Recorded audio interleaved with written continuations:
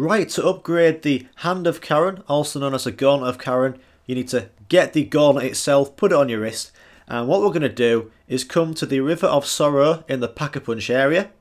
This is what it looks like, it's right near this perk here, and all you're going to do is kill about 5 to 10 zombies in the River of Sorrow, and you're going to use the zombies' blood to make the river go red.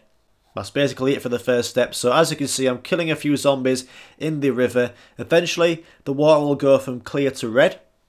And you want the water looking like this, red as fuck. And also you can see when you walk in the water, there's a icon coming up saying you can press square to drink the water. You don't want to drink it yet. You want to kill all the zombies apart from one.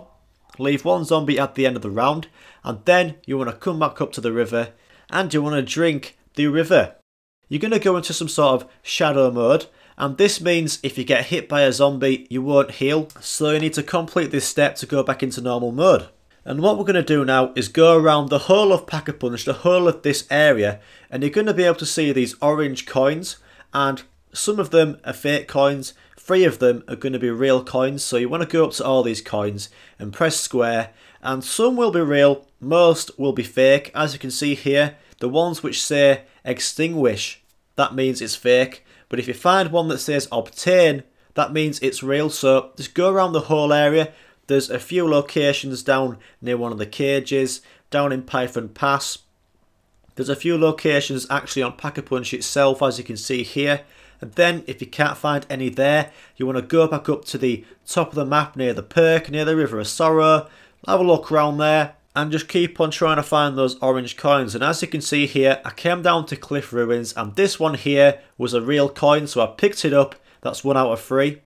I then went down into this challenge room here with the blue fucking fire and I found another one and that was a real coin so I picked that one up. This is a location here. And then finally I went down further into cliff ruins near that broken bridge and the cage and I found another and it was real so I've got three orange coins and all I do now is go back to the ritual area of this Hand of Charon, put all the three coins into the shrine, and the fast travel will spawn.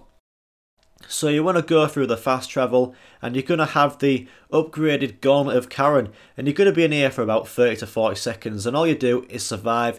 You've got all the ammo in the world. It's almost like the Void Bow is this Gauntlet which I like about it but it doesn't really do as much damage as the others, which is kind of annoying. But yeah, survive down here, just spam the gauntlet, fuck it, why not?